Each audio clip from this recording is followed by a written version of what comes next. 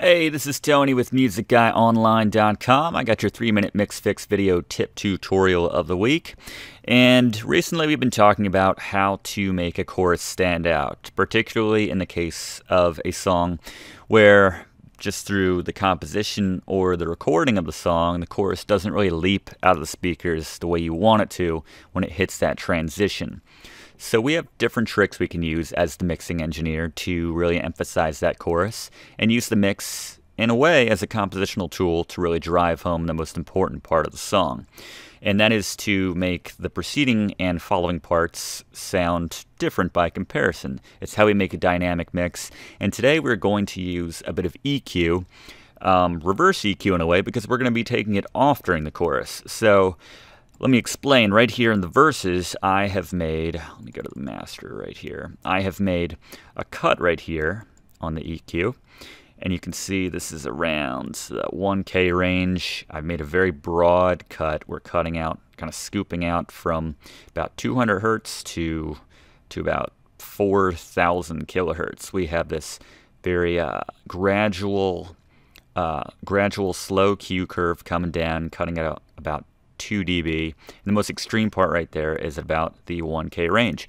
So this is going to dull the verses, and then I'm going to remove that EQ cut by basically just uh, removing the uh, device itself from the mix once we hit that chorus so you can hear the change in real time as the mix gets brighter and we're not adding brightness to it uh, artificially. We're just putting back in what was already there. And it makes for a nice dynamic way to make a transition from, you know, sort of more of a kind of a subtle verse into a even larger chorus. So let's hear that difference.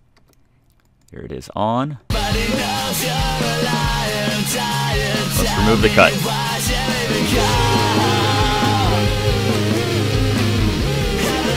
with it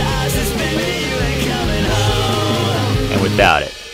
So things get a little bit brighter, but you know, we're not adding anything to the higher range. You know, we're not artificially like going in and uh, creating a boost or anything like that, which would make it, you know, a little harsher on the ears.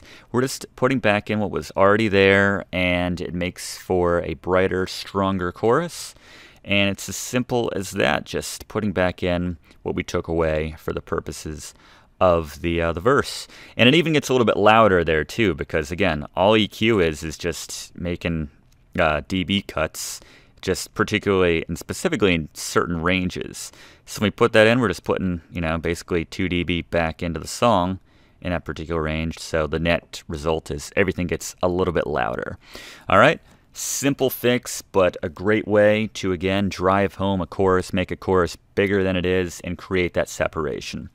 All right, I am Tony with Music Guy Online. Thank you so much for watching. Please subscribe. We do these videos every week, and I hope to see you next week.